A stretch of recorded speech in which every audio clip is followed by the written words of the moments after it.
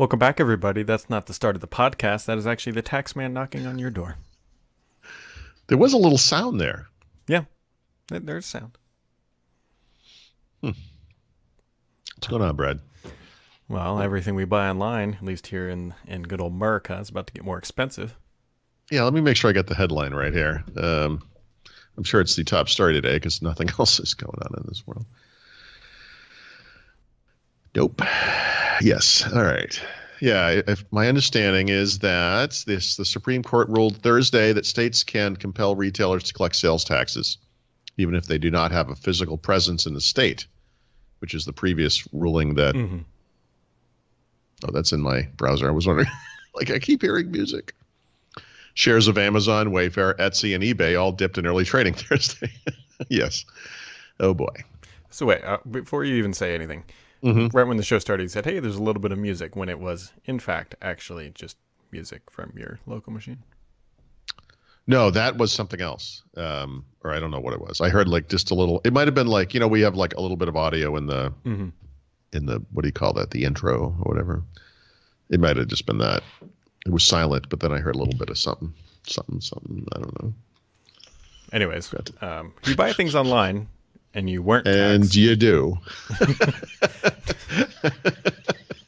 you know what with it being 2018 and all. I will tell you what did pop up uh, because I ordered something for Amazon yesterday.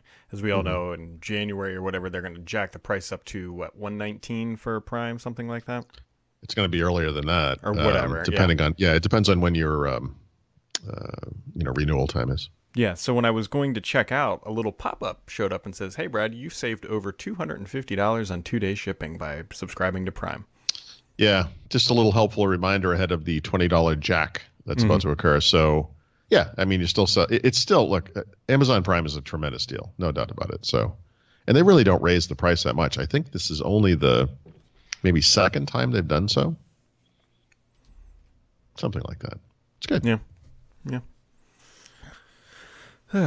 so, uh, speaking of jacked, this guy has been jacked out of his a seat until I, I was trying to make that transition work, and then I my head jumped to Jack in the Box because I'm kind of hungry for lunch.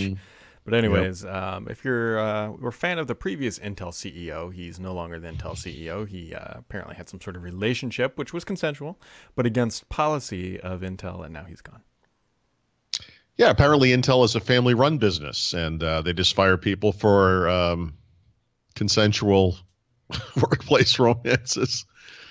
Oh boy, um, it kind of begs the question if they weren't looking for That- some kind of the a first thing I was about to say. It's like, okay, so it was consensual and you violated a policy. That's Mm-hmm. right. The, the policies exist for a reason, but if they really like the guy, it's like, okay, dock his pay. He doesn't get some things, you know. yeah. He doesn't get this- the the annual um, you know bonus or something. Mhm. Sure.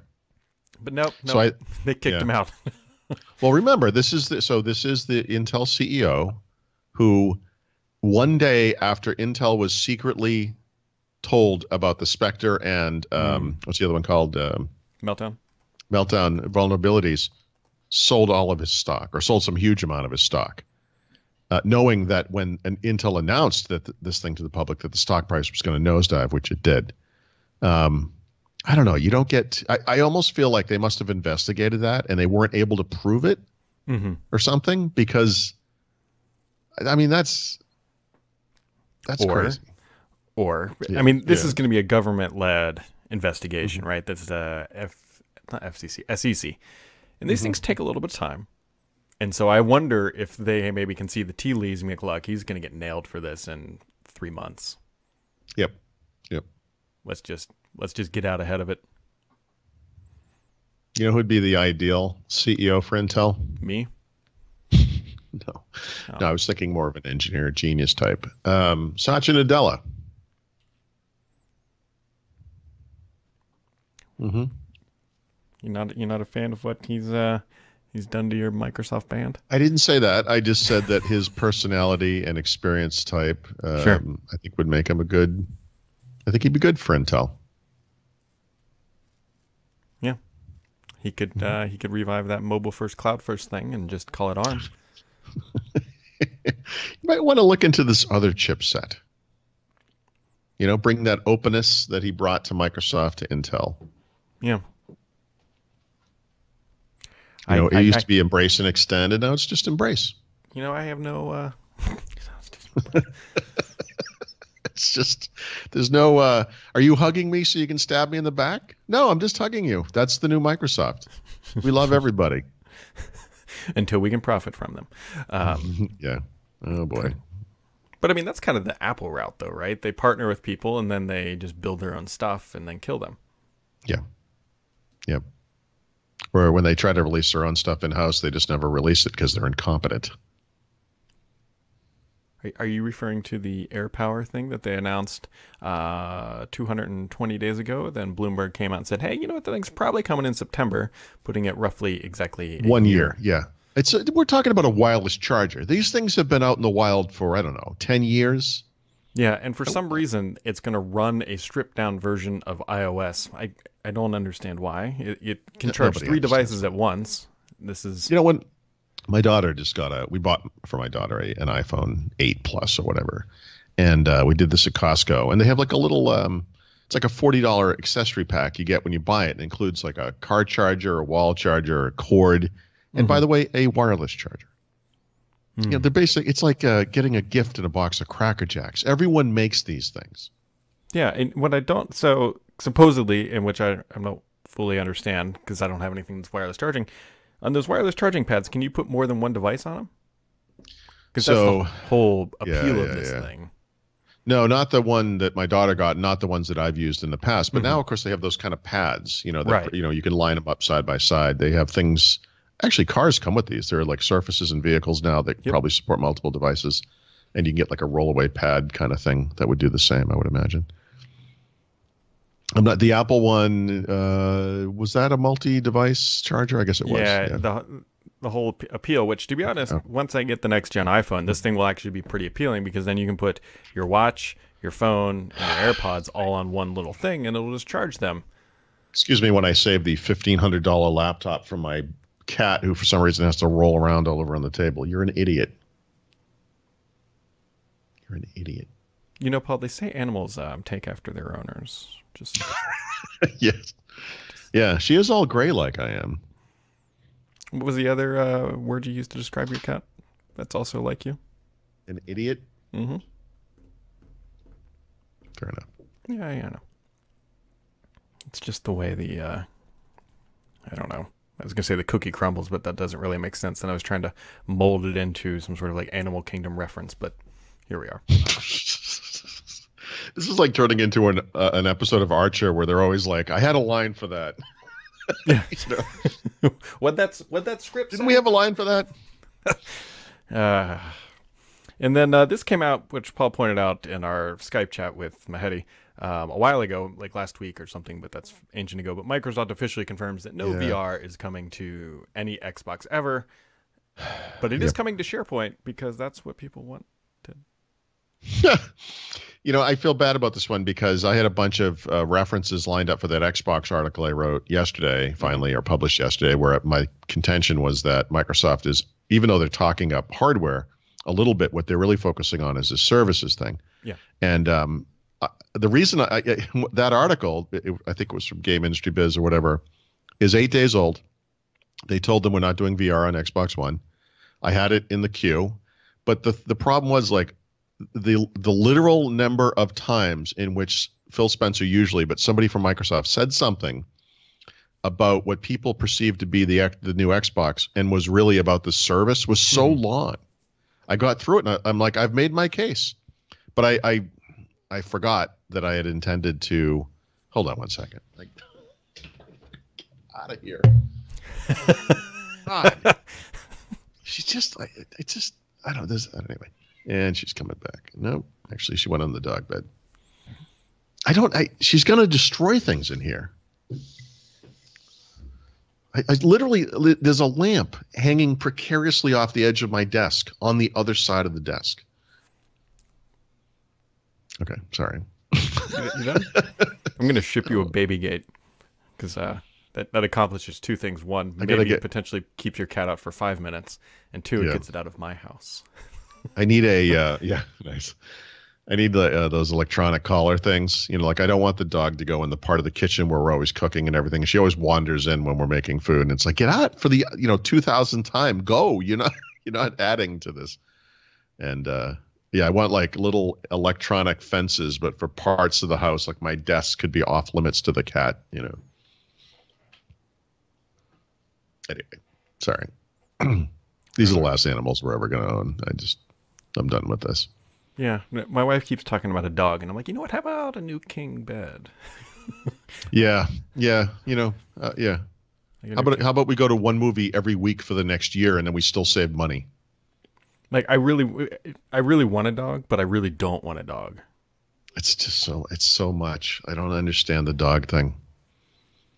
It's so much. They they eat so much. They poop so much. Well, see, that's why you get a you small have to dog, walk them every single day. Okay, but I mean, it's still It's cats yeah, are kind of self-contained. You know, Hmm. you could leave cats here for a weekend; they'd be fine. You know. All your stuff would be on the ground, but everything would be fine. Yeah, yeah, they, they would, uh, yeah, exhibit their displeasure with this decision for sure. But I don't even know what we're talking about. This has just been a uh, top tier episode of First Ring Daily. just, you know, I specifically went to bed last night because I haven't been sleeping enough uh, Mhm. early at like 10 for me or 10, I, roughly 10 o'clock. And uh, I didn't get up till like eight. That's a, an incredible amount of sleep. that is. I should be well rested and in a great mood. And I got to tell you, I'm going to go back to drinking more and no sleeping because this is not working. Feeling healthy is just not it. It's It not is the me. worst. Yeah. I just don't know what's going on. I'll tell you what. Since this show's just off the rails, I've been thinking about doing this, but I, I don't think I'll do it. Um, I'm, I'm, I'll send you the video. Maybe I'll even post it in uh, the links below. There's a thing called the one chip challenge. I think we've talked about this. It's like Carolina Reaper. It's like a stupidly hot Dorito chip, and the challenge is you try to eat the whole thing without dying. Without dying? Well, not Is dying, literally, but, it, but it's just got a lot of. It's got like the world's hottest pepper, like kind of like ground up and like baked into it.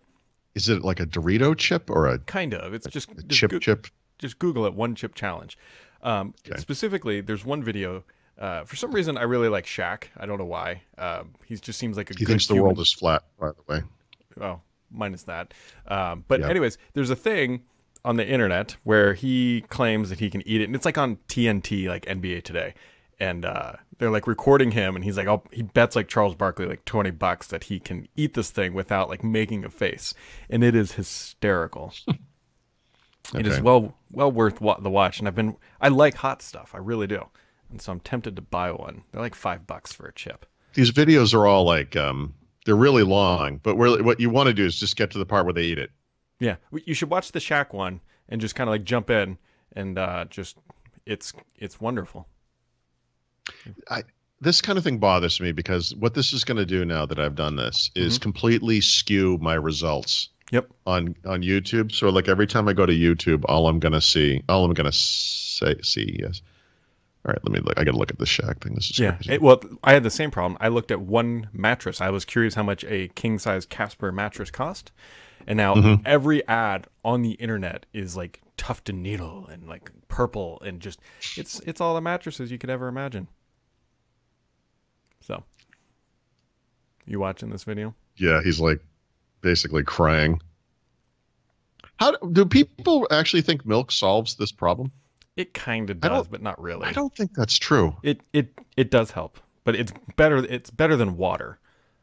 So Honestly, if milk coats your throat, all you're doing is coating the hot onto your throat.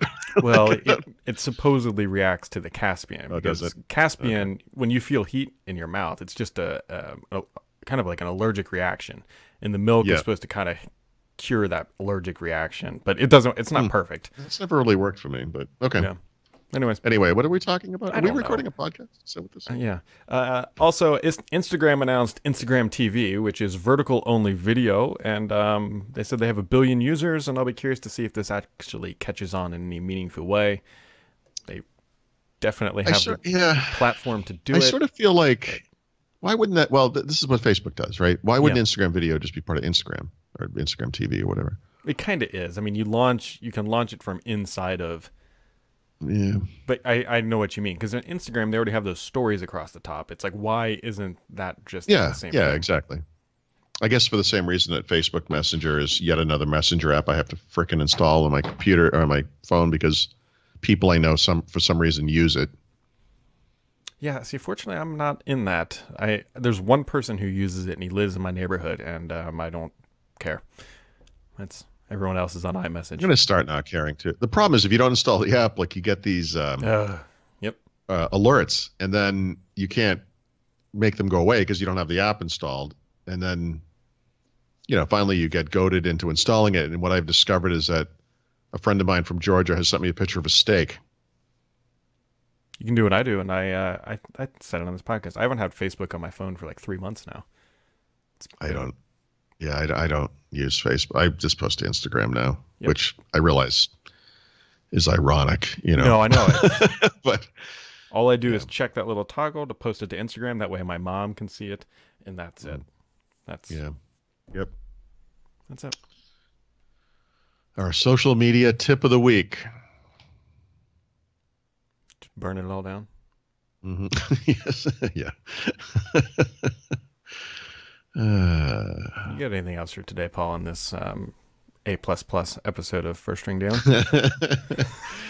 no, um, I'm hoping by the end of the weekend to get through at least two of my laptop reviews. I know I keep talking about that. Mhm. Um, I finally did that hands-on thing with the Android Messenger app. That's actually really good on the web. Um, if you're using Android, and especially if you're using the Google Messages app, which is what I do Mhm. use, you should look at that. And if you're not, install it and just check out the web thing because that alone may make it worthwhile. The ability Yeah. to get text messages on your PC is um, is huge. You know, as any like really Mac, iPhone user would tell you. It really is, and I'm trying to wonder why. Skype was acting up weird this morning. I know that's an unusual phrase, Yeah, but um, cool. yeah. What is today? What about you, Brad? Nah, I got nothing. I read a white paper this morning. That's how my day's Nice. going. Yeah, Nice, nice. Yeah. Oh, we should talk about um, next week. yeah. So We- Paul and I are going to be traveling next week. Um, just from Monday. Well, Monday into Tuesday, but um, I think I, I bet we'll have time to do a quickie episode. yeah, But it's going to be a little. Um, it'll be less professional. Than I was going to say, Paul, is it really is it really going to be any worse than this one? I mean, least it's like, why even warn? What's the difference? You know, we're going to lower the bar. And then we're going to drink from it. hmm So uh, be on the lookout for that. Today's Thursday, which means tomorrow's Friday, which means that tomorrow's show is live. You can catch all that information at thurrott.com slash live, typically around 1 p.m. Eastern Time, unless Paul is late because he's playing Call of Duty. And um, with that being said, folks, have yourselves a wonderful Thursday.